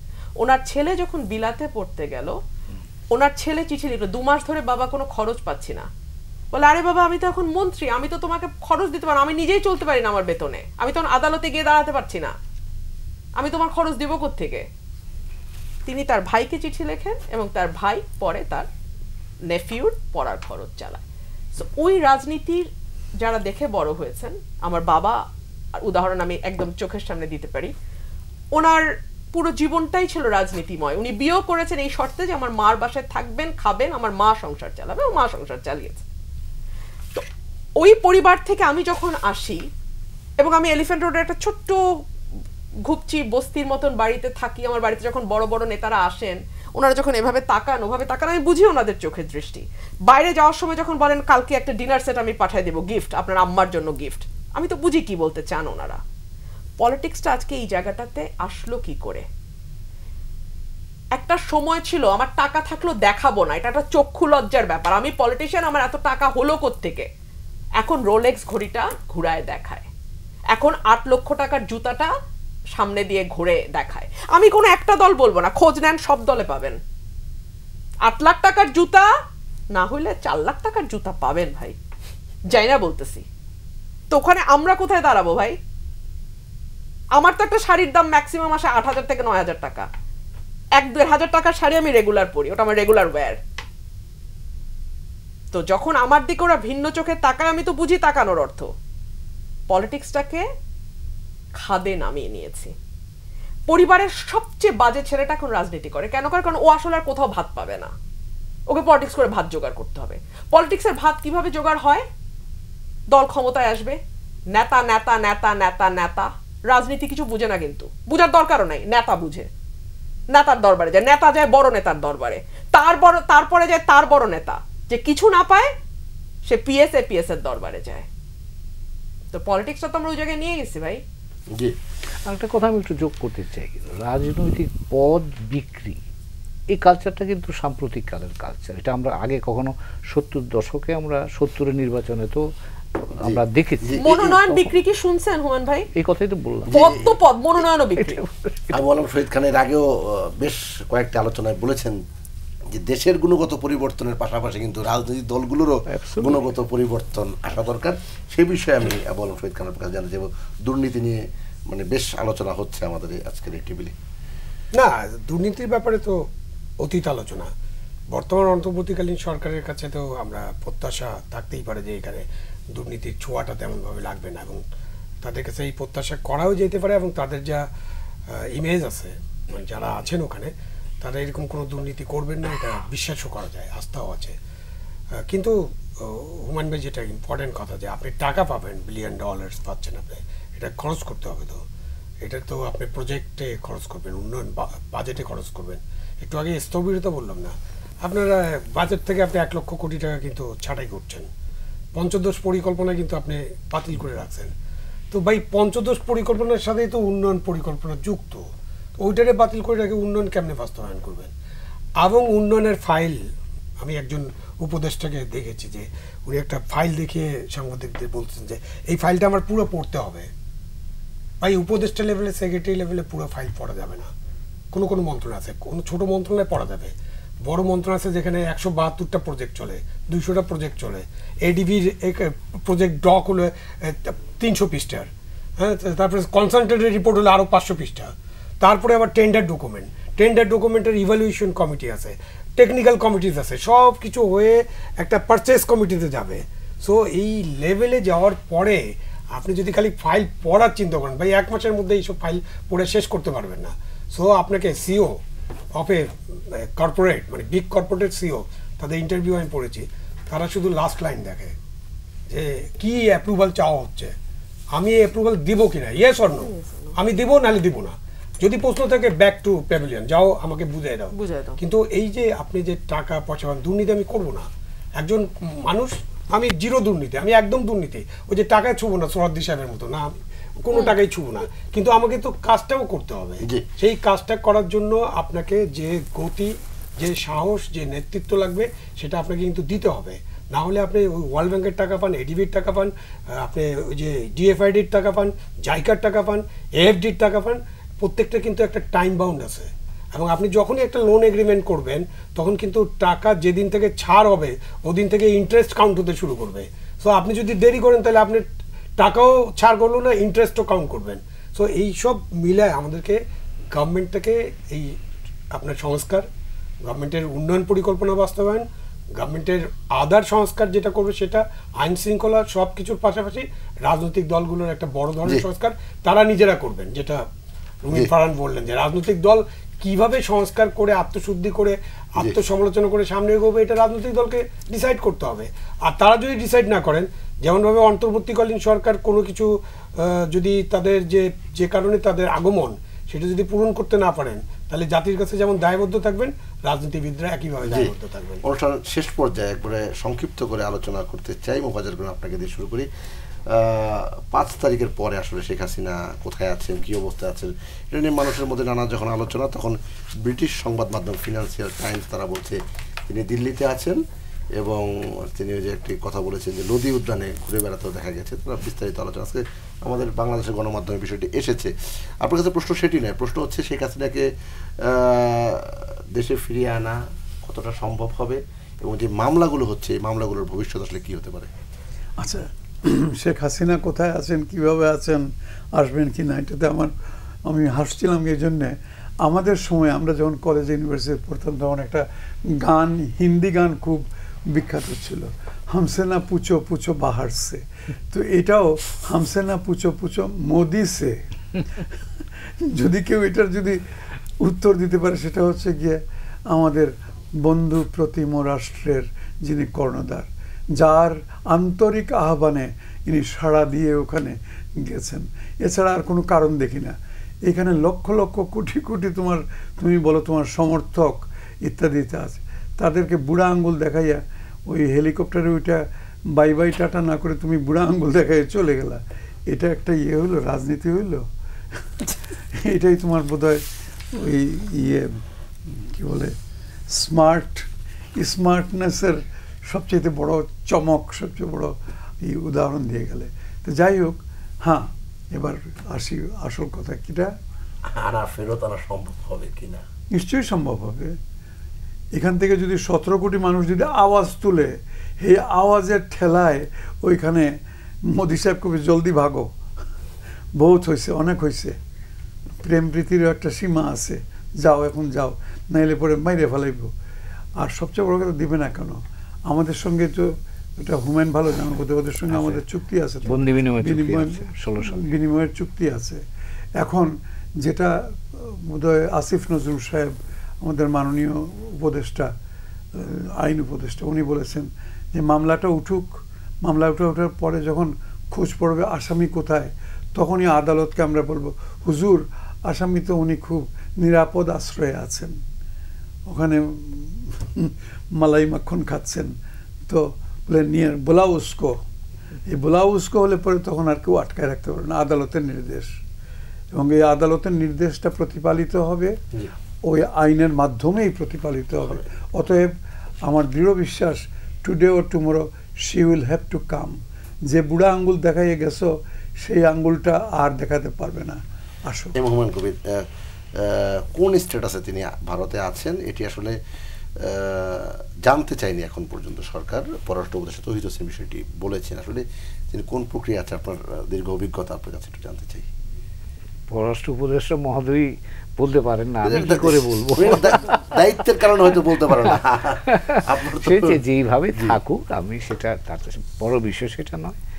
যেটা হবে সেটা হলো যে ধরেন এটা দুইটা বিষয় জড়িত আছে। স্যার যেটা বলছিলেন যেখানে একটা আইনি প্রক্রিয়া ওনার সাথে সম্পৃক্ত হচ্ছে আস্তে আস্তে। এটা হলো একটা বিষয়। এবং সেটাই ডিসাইড করবে যে ওনার ওখানে থাকার জন্য কতটা সুযোগ থাকবে এখানে আসবার জন্য কতটা সুযোগ থাকবে। আর তার চেয়েও বড় যে বিষয়টা থাকবে সেটা হচ্ছে রাজনৈতিক সিদ্ধান্ত। আপনি অনেক আইনি প্রক্রিয়া করলেও ভারত যদি সিদ্ধান্ত নেয় যে ওনাকে পাঠাবে না তাহলে কিন্তু তারা এই রিস্কটুকু হয়তো নেবে। এবং সেটা যদি নেয় তখন কিন্তু রাজনৈতিকভাবে সেটা সমাধান আপনাকে খুঁজতে হবে। সেক্ষেত্রে- কাজে এখানে দুইটা সেক্ষেত্রে সেক্ষেত্রে ভারত বাংলাদেশ সম্পর্কের উপর কোনো প্রভাব পড়বে? নিশ্চয়ই পড়তে পারে। সেটা তো বাংলাদেশ সরকার এটা তার যুক্তিসঙ্গতভাবে তাদের কাছে বলবে যে আমার আইনি প্রক্রিয়ার মাধ্যমে আমরা তাকে চাই। এবং ভারত সরকার যদি না দিতে চায় তাহলে তাদেরকে ব্যাখ্যা করতে হবে কেন তারা দিতে চায় না। কাজে এখানে রাজনৈতিক সিদ্ধান্ত একটা বিষয় থাকে। না উনি যেখানে আছেন ভালো আছেন যেটুকু আমরা গণমাধ্যমে দেখলাম। ওনার কন্যাও সম্ভবত ওনার সঙ্গে আছে উনি লোদি পার্কে বেড়াতেও গিয়েছিলেন। সুতরাং আহ, খুব খারাপ আছেন বলা যায় না। এবং উনি ওনার নেতাকর্মীদের সঙ্গে যোগাযোগও রাখছেন বিভিন্ন নির্দেশনাও দিচ্ছেন। সেটা আবার ফাঁসও হচ্ছে, আমরা জানতেও পারছি। তবে এখানে যেটা মুশকিল সেটা হচ্ছে দুই দেশের সম্পর্কে বিষয়টি প্রভাব ফেলছে, গভীরভাবে প্রভাব ফেলছে। আপনি জানেন নিশ্চয়ই যে ইউএন এর যেই অধিবেশনে যোগ দিতে যাচ্ছেন, মোদি যাচ্ছেন, আমাদের প্রধান উপদেষ্টা যাচ্ছেন। প্রধান উপদেষ্টা মোদির সঙ্গে একটি সাইডলাইন মিটিং এর জন্য অনুরোধ জানিয়েছিলেন বাংলাদেশ সরকার বাট সেটা রিফিউজড হয়েছে।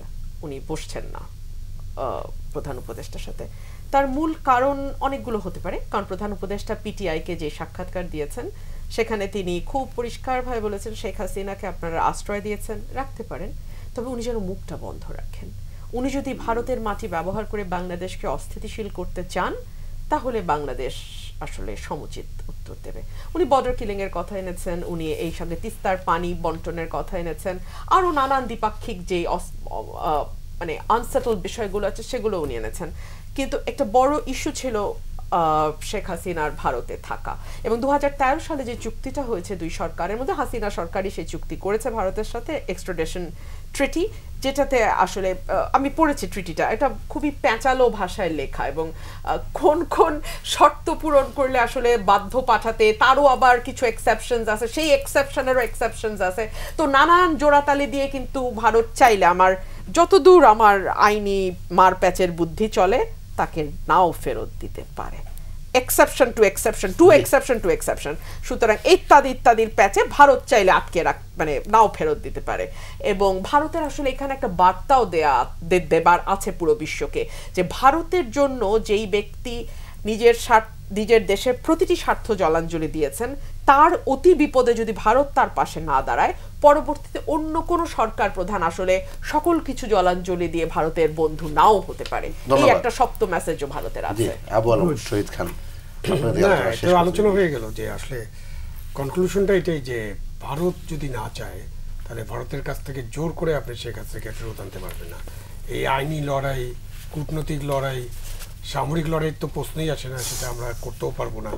তো সুতরাং আইনি এবং কূটনৈতিক লড়াই এবং সতেরো কোটি মানুষের গর্জন, কোনোটাতেই কাজ হবে না। যদি না ভারত নিজের থেকেই বন্দি বিনিময় চুক্তির ধারাগুলোকে মেনে নিয়ে প্রত্যাপন করতে চায়, আমার মনে হয় না ভারত সেটা করবে।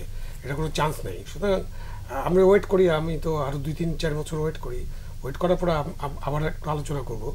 আগামী দুই তিন চার বছরে পরিবেশ পরিস্থিতি শেখ হাসিনা অনুকূল না হলে শেখ হাসিনা বাংলাদেশে আসার কোনো কারণ নেই এবং উনি আসবেনও না ভারতও ওনাকে পাঠাবে না জি ওই যে দুই সম্পর্কের কথা আহ, কোনো অসুবিধা নেই না ভারত বাংলাদেশের সম্পর্কের মধ্যে শেখ হাসিনাকে নিয়ে যে টানা পড়েন ওইটা এখানে কূটনীতিক আছে এই জন্য আমি জি। বলতে দেবো।